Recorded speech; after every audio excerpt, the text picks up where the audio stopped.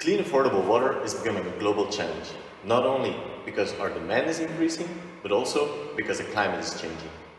So the question now is, how are we going to solve this problem for Spain and the rest of the world? Well, our solution is water reuse. Where are we getting this reusable water from?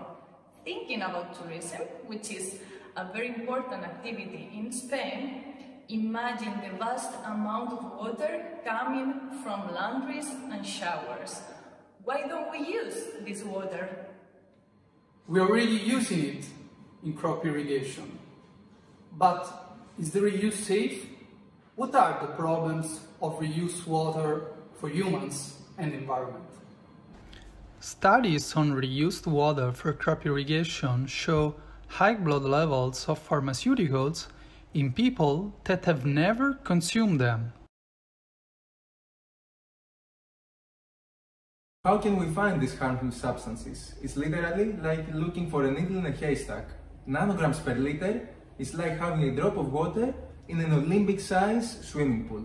This is how low these concentrations can be. That are not harmful concentrations, but they are persistent and bioaccumulating. So they will get more over time and we cannot remove them. What about boiling the water? I know that it can kill bacteria and uh, viruses. But, no? but imagine how much energy you need. And also, it doesn't even remove emergent contaminants. What about disinfect water with chlorination? No?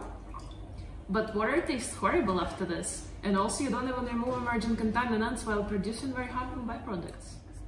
And what about ozonation? I'm sure with ozonation we can remove emerging contaminants. But it also forms byproducts, and this method is super expensive. Hmm.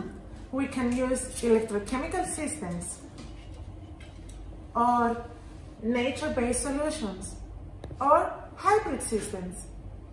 Huh! Actually, those systems are really good in removing emergent contaminants and they're also super cost effective.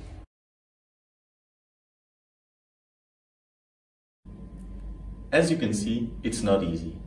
One technology that solves all of the problems does not yet exist.